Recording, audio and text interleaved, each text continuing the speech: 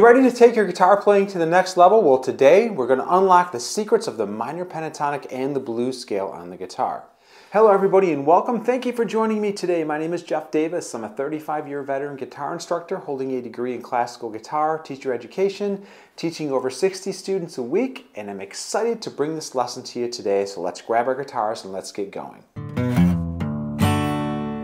To play the minor pentatonic and the blues scale on the guitar, we will need to learn the pattern of notes that make up these scales and also the music theory behind them. As you will see, it's a simple pattern that can be moved up and down the neck of the guitar. However, today we are approaching this as a beginner lesson and in the open position in the key of E. So before we dive in and start looking into how to play the minor pentatonic and the blues scales, it's first worth covering the basics and the music theory of how these scales are constructed. Now the minor pentatonic scale is a five note scale, the word penta being derived from the Greek word for five. So the minor pentatonic scale contains notes that are taken from the natural minor scale, but only contains five of those seven notes. So in the key of E, which we will be using for the examples in this lesson, the notes that appear in the natural minor scale are as follows.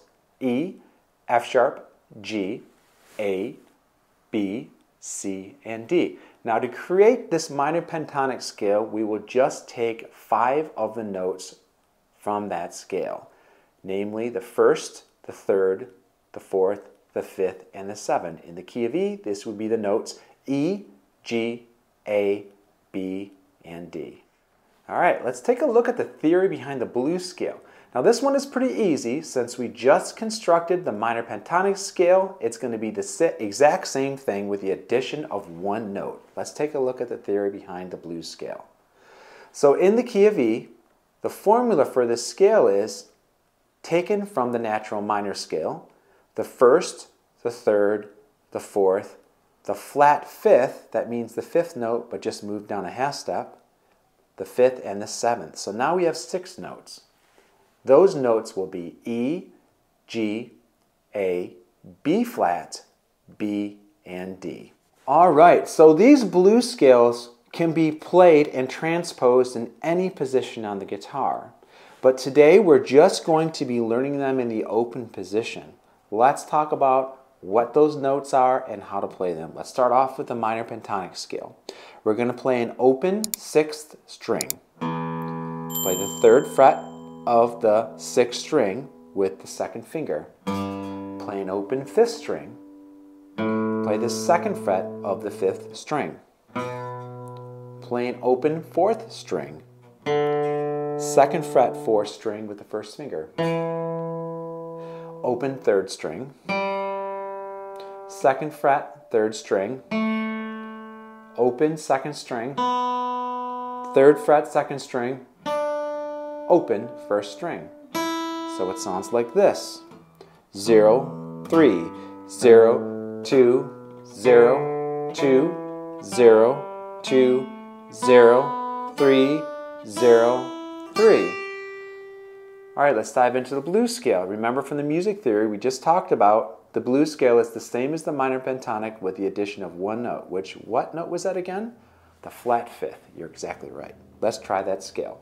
We're going to play an open sixth string, third fret of the sixth string, open fifth string, first fret of the fifth string, second fret of the fifth string, open fourth string, second fret, fourth string, open third string, second fret, third string, fourth fret of the third string, open second string, third fret, second string, and open first string. So here's the blues scale.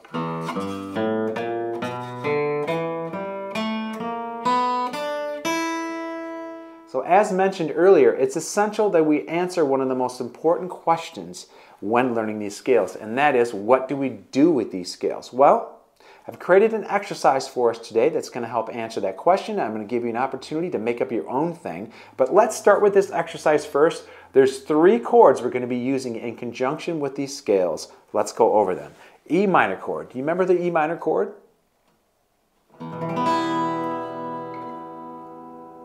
The A minor chord. Do you remember the A minor chord? the B7 chord. Do you remember the B7 chord?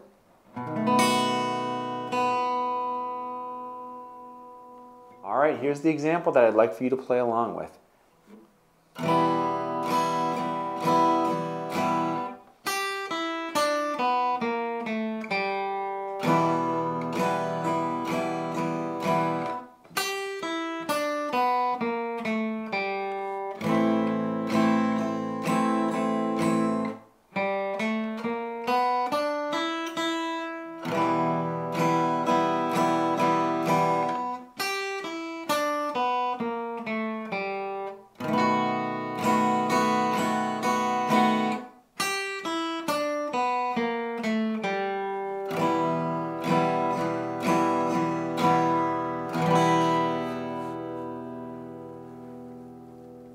All right, so when you're playing along with this, if you feel this is too fast for you, remember to use that cogwheel up in the upper right hand corner to slow this down by 75% or slower if you need to keep up.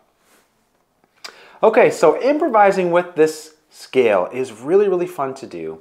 This is a common thing that I do with all my students. What I have them do is to learn an exercise just like you're learning right now, but for every even measure, if you look at the music, for every even measure, 2, 4, 6, 8, and 10, you are going to add your own notes in those measures, but keep the chords before those measures exactly the same. So let me give you an example. I'm just going to make something up here.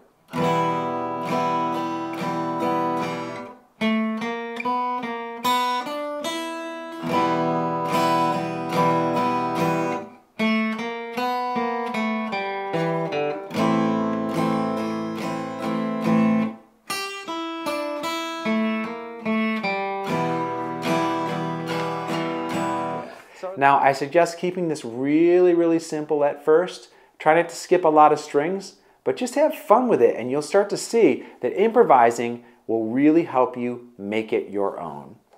So in conclusion, to really master the minor pentatonic and the blues scale on the guitar, practice is key. I would like to encourage you to incorporate this scale also as a part of your daily warm-up and practice routine. When you do, you're going to see a massive difference in your playing in a very short time. Also, I highly recommend that you revisit this video and practice along with it on a daily basis. Thank you for watching this video today. Make sure you subscribe to the channel for more tips and tricks to enhance your playing. Also remember that it's my passion to help you learn on the instrument and connecting with you is what makes the effort all worthwhile and a labor of love. If you have any questions, please leave a comment below. Don't forget to hit that bell so you can stay up on all the notifications of our upcoming lessons and I'll see you next week.